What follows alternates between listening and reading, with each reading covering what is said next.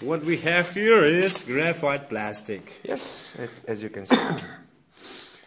okay, normal, normal. We have to heat it up, but uh, we, we we want to do it because already we, we already burned one, and now we, I just want to show you uh, the process how to press.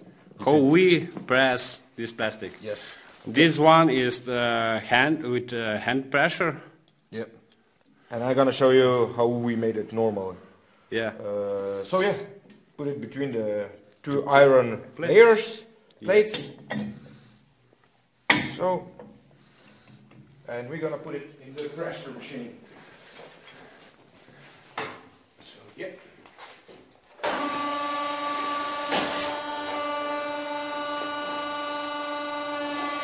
Okay. How uh, how many bars? Uh, think it's around 80. You can show them. Yeah. It's For around how long? I don't know, How long? 20, 20 seconds. I don't know. It depends. Or all day? Yeah, you can, you can leave it all, all, uh, also all day. I think it's enough. Just an example that I'm gonna show you how we made it. Yeah. I don't know how many kilos on the square centimeter it is. It's uh, 80 bars and you can calculate it. So yeah, that's it. And now we can measure around.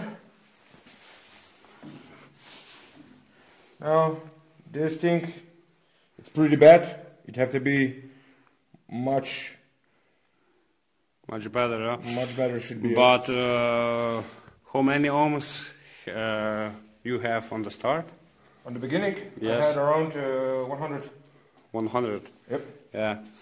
And we uh, only 10 seconds in the pressure machine. Yeah, you can put it down for the. But uh, 60 normally we need to heat that. Uh, it have to be heated up. yes. I don't know how many degrees. It just have to be soft. Yeah. And now it's uh, cracky. really cracky. Yeah. so yeah, That's it. that's it. Thank you for watching.